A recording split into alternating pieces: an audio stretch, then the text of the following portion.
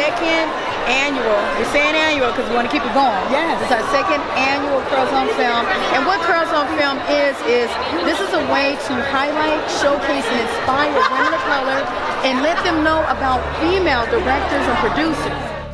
I'm here with Ayodele of Waist Beads by Ayodele. Thank you so much for having us.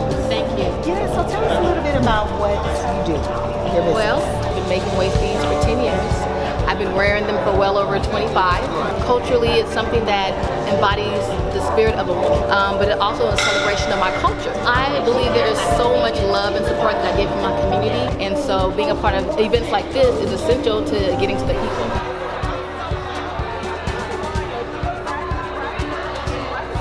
Hi, I'm here with Tony of House of Swag.